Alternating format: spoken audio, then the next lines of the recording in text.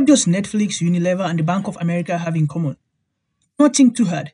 It's the man whose life we'll be looking at today, Strive Masiyiwa, Zimbabwe's first billionaire in US dollars. He has sat on the boards of this important organization and still sits on many more. In 2011, the Times of London named him one of the 25 leaders of Africa's Renaissance. In 2014, Fortune magazine named him one of the 50 most influential business leaders in the world, and he was cited as one of the top 100 most influential Africans by the New Africa magazine. He is known to have a penchant for charity and an unapologetic Christian. He is easily one of the most influential men alive today. Join us as we focus the spotlight on one of Africa's most illustrious sons.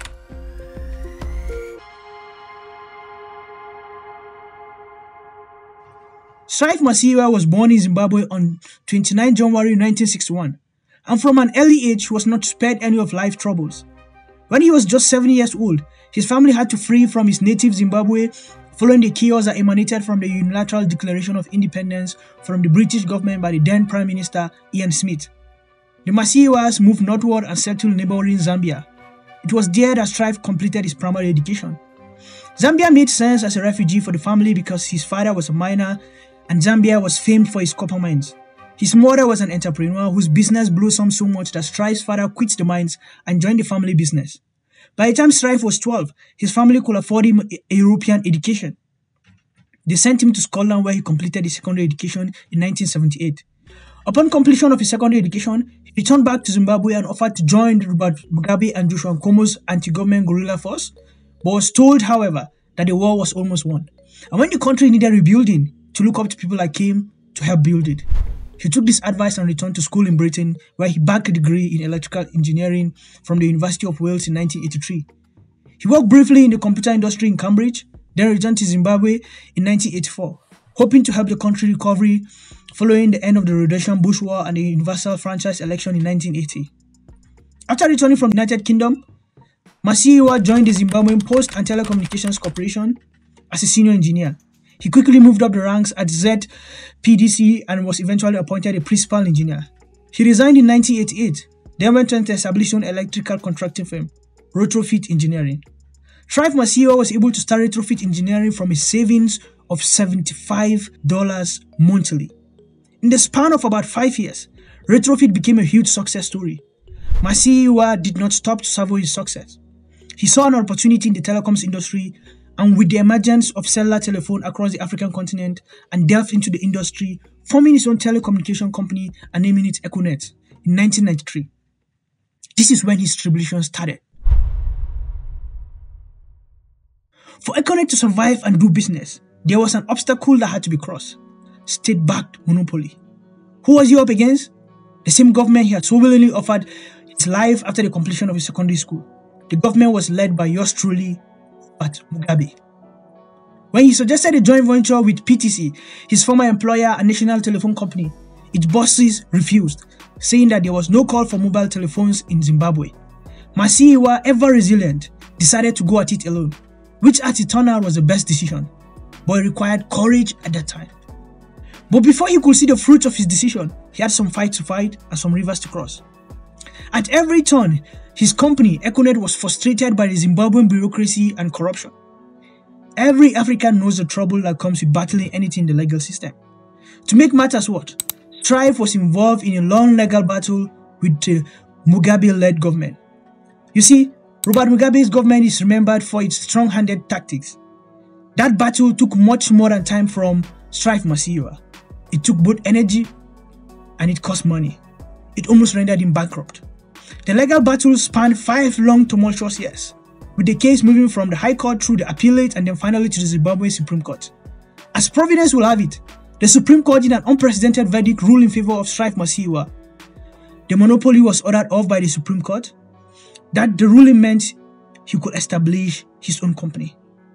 Econet was granted a license to provide cell phones services in Zimbabwe. Following the ruling at the Apex Court, Econet connected its first telephone subscriber in 1998. Within a few years, Econet was able to spread its operation within and outside Africa, establishing cell phone networks in Nigeria, Lesotho, Botswana, Rwanda, South Africa, New Zealand, Bolivia, the United Kingdom, and many others. Following the success of Econet, He will go on to start Cassava Technologies, which envisions a digitally connected future for every African. As of December 2022, Econet Wireless Zimbabwe had 14.9 million subscribers. 9.9 million active subscribers in Zimbabwe alone. This is incredible, especially when you remember that Zimbabwe is a country of 16 million people. At heart, Strive Masiyiwa is an entrepreneur, and an entrepreneur is a person who solves problems. Wherever he sees problems, he jumps on them and attempts to solve them. Masiyiwa has been involved in supporting a diverse range of health issues, including campaigns against HIV, AIDS, cervical cancer, malnutrition, Ebola, and more recently, COVID 19. He's an avid environmentalist. He took over from the former UN Secretary General Kofi Annan the chairmanship of AGRA, an organization that supports Africa's smallholder farmers. In 2019, he stepped down from AGRA and now serves as chairman emeritus. With a net worth of $1.8 billion, Strive Masiyiwa is definitely one of the richest Africans alive today. In fact, for many years, he was the richest man in Africa. What has he used his wealth for? Well, this will blow your mind. Strive Masiyiwa has provided scholarship to more than 250,000 young Africans within the last two decades. 250,000 young Africans. In times of disaster, you can be certain to see Strive trying to offer some help in every way that he can. In January 2020, aid for Zimbabwe's doctor to return to work after they went on strike to get paid. Masiyiwa agreed to pay each doctor a subsistence allowance of about $300 and provide them with transport to work through a fund he set up.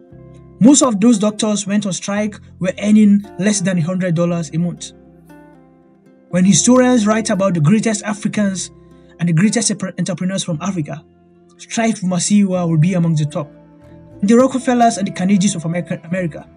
Strive fought battles and he won most of them. He fought against principalities and powers and he conquered. His greatness precedes him. What can entrepreneurs learn from Strive?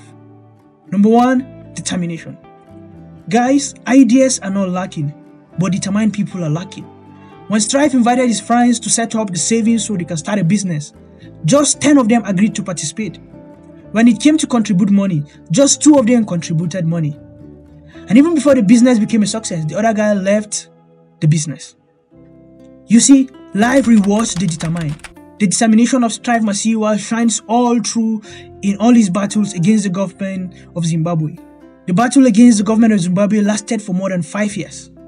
But Strive was determined. He stayed through it and eventually he won.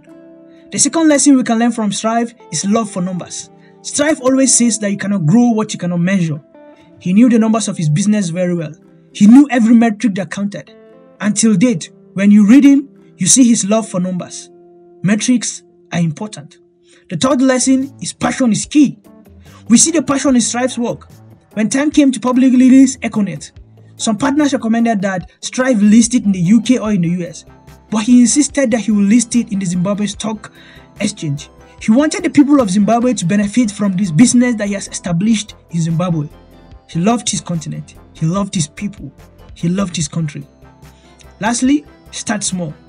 Strive once said on Facebook, For me, nothing has really changed in terms of those basic principles. You start with what you have, you do what you can, you invest what you get, so that you can do bigger and bigger things. Big visions often require humble beginnings. Start small. Strive started with $75. Today he's worth nearly $2 billion. So, guys, whatever idea you have, go and start with what you have. Begin with what you have. Start where you are right now, then grow from there. Till I see you again. If you enjoyed this episode, kindly subscribe and share. Got our next episode. Thank you for listening.